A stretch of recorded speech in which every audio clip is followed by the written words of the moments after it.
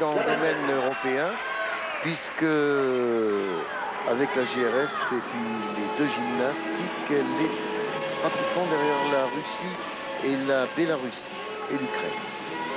Mohamed Maslahi, que l'on voit sur le cheval d'arçon maintenant.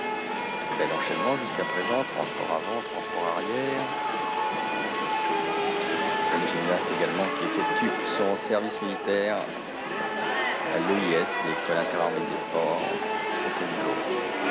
Oh là là Petite faiblesse du bras à la sortie. Mais ce n'est pas très grave. Ah oui, là, les il est, Thomas. parti, euh, il est parti à la gorille, là. Un petit Ouais. peu juste, voilà, sur le Thomas, je bien verser jusqu'à